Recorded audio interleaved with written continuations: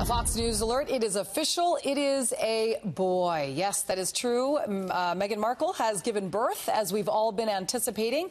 And in fact, Harry came out to deliver the news uh, that they had had the baby. They've been keeping this very tightly under wraps. Uh, we only just got a moment ago word that she was in labor. So uh, let's listen to Harry right now giving the good news. I'm very excited to announce that uh, Meghan and myself had a baby boy um, early this morning, a very healthy boy.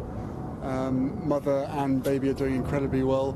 Um, it's been the most amazing experience I could ever um, possibly imagine.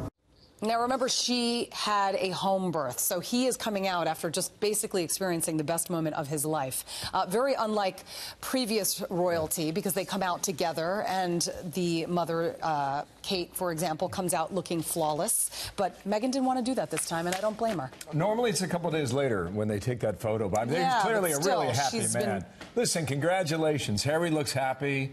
I'm certain that sh- the that mother is fine as well. Yes. So good deal. They got a boy. Got I a was boy thinking a girl. I was actually thinking a girl. They were going to name her Diana. I uh-huh. guess they'll have to wait till baby two. Attaboy. It's a boy.